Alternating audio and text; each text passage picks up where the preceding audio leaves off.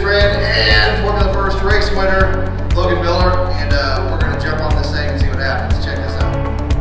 All right, we'll put Logan here of the camera. I'm just gonna have uh, Logan do just kind of a brief description of what a uh, Formula First race car is and specifically what we're gonna be doing. So tell everybody what we're doing. What, what are we looking at? Sure, yeah. Uh, well, obviously, TJ already mentioned we're pulling the engine today, so I'll start with that. Uh, the engine is a stock VW 1600 uh, cc air-cooled engine, uh, straight out of the uh, Beetle, old Beetles from the late 60s, early 70s. Um, they're a little bit different because we've had to put uh, counterweight crankshafts in them just to keep them from vibrating apart, but kind of a little bit important. But, uh, as you can see, it looks like a lot, so we got to get down into the engine first by draining the oil and just start taking lines and wires off. And uh, once we get down, we'll uh, make sure everything's disconnected and go ahead and pull it out. But so as you can see here, not too particularly technically sophisticated. I would venture to say these cars, I don't think, in the whole Formula Vee world, which again, this is where these kind of originated from, really hasn't changed much since its inception. There's chromoly steel tubing, uh, very 1960s, 1970s construction style, that also makes them very inexpensive, very affordable, and you know, if, if it's uh, sturdy.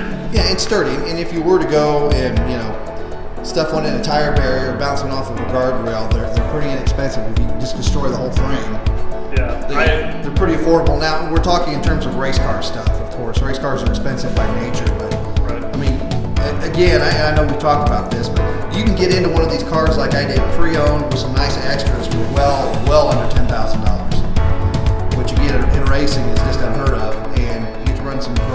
tracks. We talked about this a little bit. Uh, Watkins Glen, Mid Ohio, uh, Motorsports Park, uh, Indianapolis Motor Speedway Road Course, you racing cars here. The list just goes on and on. So really, for what you're going to spend to get into a quality pre-owned shifter program, you can also take that same money and do a full-size car. Me, I'm just going to do. That one there's for. And again, this one was bought. Uh, I, watching my live video,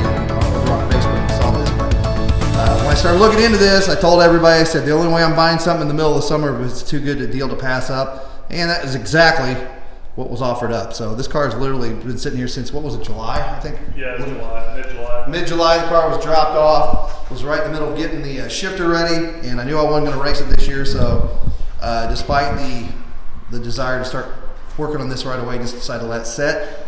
That way I didn't get tempted into going out and taking it out before it's ready. Because as I mentioned, the car has sat for uh, the better part of two years uh, and not been ran, and that was simply because the guy that I bought it from had bought a newer car and was racing that. So we're going to spend the winter here, go over this. We're going to share it with you here on uh, on YouTube and everything. So again, uh, what are your thoughts on this? Do you have any experience with the uh, with the Volkswagen motor? Uh, you know, the, the small, the 1200 or the 1600? Uh, maybe in a different racing uh, application or a street application. If you have, leave a comment down there. I do read all of them. let me know what you were doing. Any tips? You know, hey, what can we do to, to you know, get some better life out of this. We'd love to hear what you have to say. So drop a comment. And uh, in the meantime, sit back and enjoy this time lapse. This ought to be interesting.